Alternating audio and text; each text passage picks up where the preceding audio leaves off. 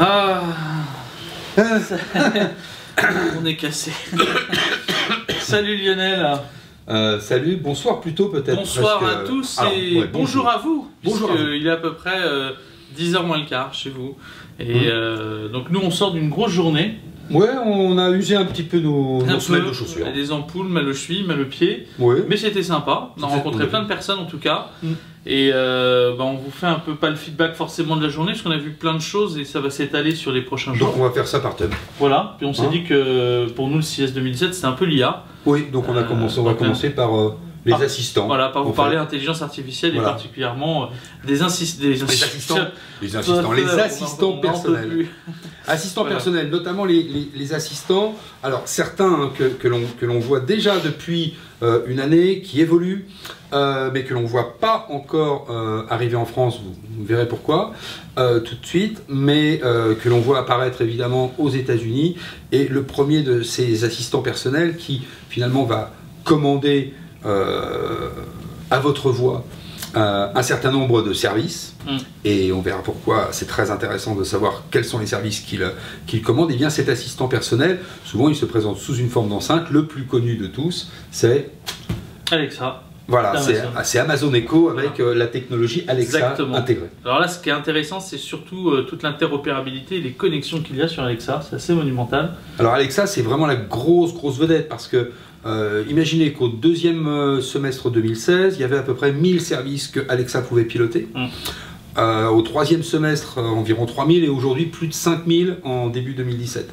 Donc, 5000 on- prestats différents. Voilà, 5000 c'est-à-dire qu'on commandera un Uber en demandant à Alexa de Une commander un pizza chez Domino's ou chez euh, Enfin, qu'importe. L'idée, c'est vraiment de bien comprendre que là, au centre, vous avez quand même Alexa qui est assez, assez présent. Ce Amazon Echo dont tout le monde parle et qui fait un petit peu aujourd'hui euh, fureur. Il y a aussi une deuxième plateforme qui marche euh, plutôt très bien. Alors, avant, il faut qu'on parle aussi de ceux qui utilisent Alexa. ah oui, c'est Hein, vrai. Voilà, c'est vrai. ceux qui utilisent Alexa, dans le c'est- programme, c'est moi qui lis pas bien.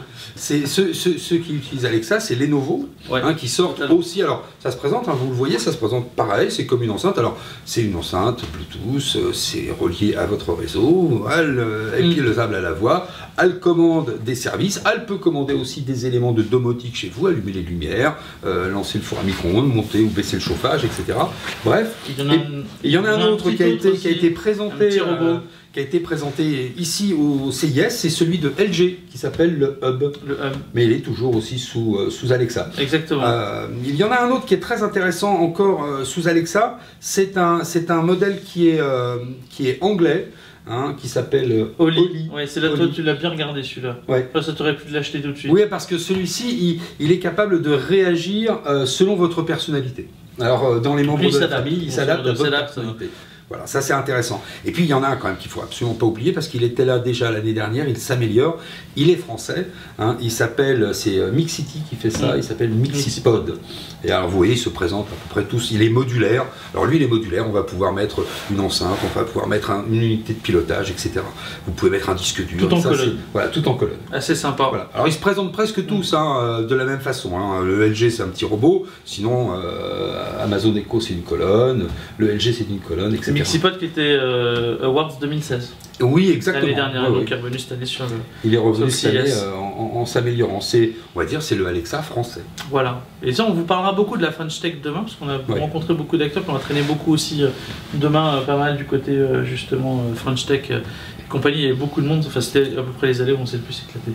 Ouais, il y avait une bonne ambiance et ça Bonne français. ambiance, les autres étaient vides à côté. hein. Ça parlait français partout. On avait l'impression que Oui, 50% en fait, on des, des, des- des personnes qui erraient dans le salon, mais attention, ouais. c'était l'endroit où se trouvait la French Las Vegas, c'est le 21e arrondissement de Paris. c'est devenu le 25e C'est à peu près ça. Euh, Passons. Alors, et puis il y en a beaucoup d'autres, ceux Oui. qui dépendent de vos systèmes d'exploitation.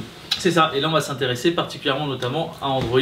On va s'intéresser à iOS Et et à Windows. Windows. Oui, accessoirement aujourd'hui, ça fonctionne. Quand même, hein, il y a quelques personnes qui utilisent ce petit système C'est un d'exploitation. petit système d'exploitation dont nous reparlerons. D'ailleurs, avec euh, Cortana, on commence par lequel déjà on avait parlé de, des Google Assistant d'abord. Alors Si Google. Assistant, vous connaissez peut-être pour ceux qui ont un terminal sous Android, vous connaissez peut-être déjà Google Now qui vous permet euh, de dialoguer avec votre téléphone. Vous connaissez sûrement sûrement pas Google Assistant qui est implémenté dans les euh, Google Pixel qui sont les nouveaux téléphones de Google fabriqués pour Google, par Google, euh, comme, euh, comme en fait euh, les iPhones sont fabriqués par Apple, hein, et pas sous-traités à Samsung ou sous-traités à LG ou une autre marque d'électronique.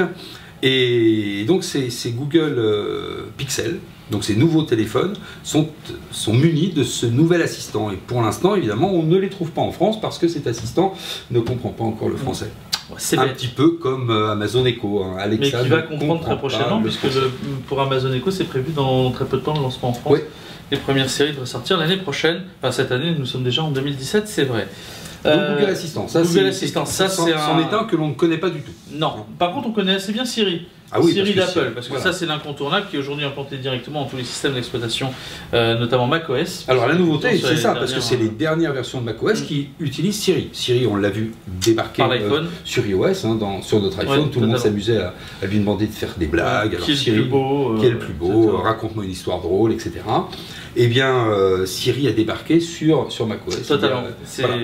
il y, a, il y a une version ou deux versions. Enfin, c'est pour ça que c'est vraiment la, le, la le- dernière version. le côté IA qui domine hein, sur ce. Et puis sur la dernière version de Windows, Ouais, on a- Windows 10 avec Cortana. on a Cortana. Donc voilà, on a des assistants qui répondent au sein de vos systèmes d'exploitation. Donc là, c'est plus de la domotique, hein, c'est dans nos systèmes d'exploitation.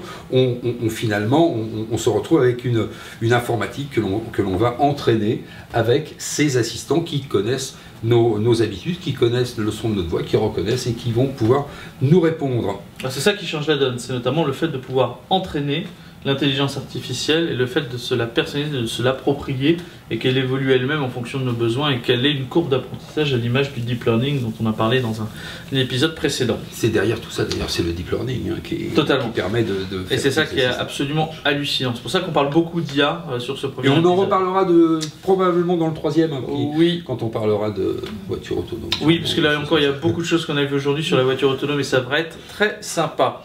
Il y a ensuite une percée de l'IA très significative dans les messageries instantanées, notamment les bots qui étaient la première évolution qu'on a connue. Et là, il y a une vraie percée euh, d'une intelligence assez intéressante sur les messageries instantanées qui donne lieu à une guerre. Si je Oui, alors on a, on a Google, euh, Google Allo, hein, qui, euh, que, que l'on peut déjà utiliser. On a Facebook M, qui est toujours en, en- en bêta test. Et là, on est sur des messageries instantanées, donc sur vos chats. Hein. Et sur vos chats, eh bien, euh, les chatbots, on en a déjà parlé dans une précédente émission, euh, vont pouvoir vous répondre, mais pour qu'ils vous répondent le plus, avec le plus de pertinence, il faut les entraîner. Et c'est là que l'on trouve ces plateformes d'entraînement, un petit Mm. peu comme Wikipédia. Vous allez pouvoir agréger vos connaissances, agréger dans Wikipédia un certain nombre de données. Bien sûr, ces plateformes d'entraînement, vous allez pouvoir apprendre à faire certaines choses À votre que IA. vous souhaiteriez que votre IA fasse pour vous. C'est un enrichissement, alors ça s'appelle Universe. Ouais, alors Universe, c'est une plateforme qui, est- qui a été lancée sur, euh, sur l'impulsion d'Elon Musk. Hein, qui avait lancé euh, OpenAI, qui est Open, enfin IA pour les Français, AI pour les Anglais, hein, intelligence artificielle, euh, qui avait lancé cette plateforme pour, enfin, donc, qui avait lancé cette, ce, ce- ce groupement pour parler d'éthique et d'intelligence artificielle. Je crois qu'on en a parlé dans Mm. une précédente vidéo avec Jean-Claude. On Totalement. a longtemps, longuement parlé d'éthique vers la fin. On vous mettra le lien. Voilà. Eh bien, cette, euh, ce groupement OpenIA a, a donné naissance donc à Universe, qui est une plateforme où vous permet, qui vous permet d'entraîner euh, l'intelligence artificielle pour euh, bah, lui agréger de nouvelles connaissances, de nouvelles compétences. Exactement. Partage d'informations à l'image de Wikipédia pour l'intelligence artificielle. C'est là donc que l'on peut dire que l'on va passer tout doucement hein, d'une information, d'une informatique programmée, où Oui. les programmeurs écrivaient des lignes de commande, Oui. à une informatique entraînée. Vous entraînez le deep learning, vous entraînez l'IA à répondre à vos besoins. C'est ça qui est absolument hallucinant. Et donc sur cette première vidéo, excusez-nous, il est pour nous quasiment 2h du matin, 2h52 du matin, donc il est presque 3h. Bref, Euh, donc euh, voilà, donc tout ce qu'on voulait dire sur cette première vidéo, c'était de vous parler surtout de l'IA qui est pour nous une grosse tendance, euh, pour pas dire la tendance de fond de ce CIS, qui intervient pour nous à, donc à plusieurs niveaux, que ce soit les objets, comme on a pu vous en parler, que ce soit bien entendu les intelligences artificielles que vous avez, les ass- assistants personnels qu'on va, qui vont intégrer notre quotidien, et puis bien entendu les messageries instantanées, comme on a pu le voir sur les bots. Donc trois niveaux d'intégration hein, particulièrement forts de l'IA sur cette euh, vidéo dont on a parlé, voilà, sur cette première journée de CIS. Alors on pourrait peut-être se faire une petite conclusion prospective. hein. Oui, qu'est-ce qu'on va faire demain? Bah, Qu'est-ce qu'on va faire demain? Mais surtout, euh, ce qu'on a dit aujourd'hui, est-ce qu'il va en rester plusieurs?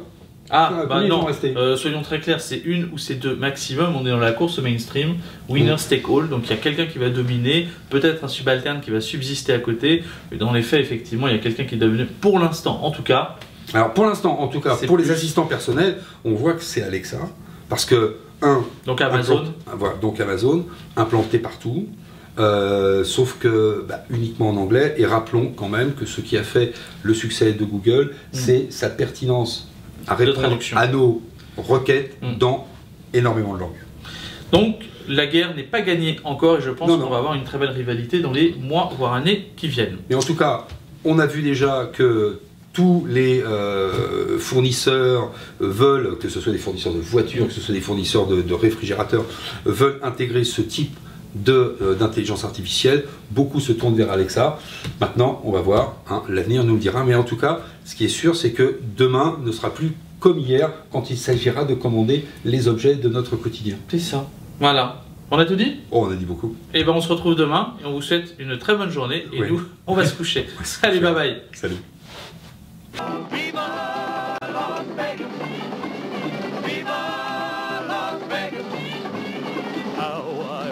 That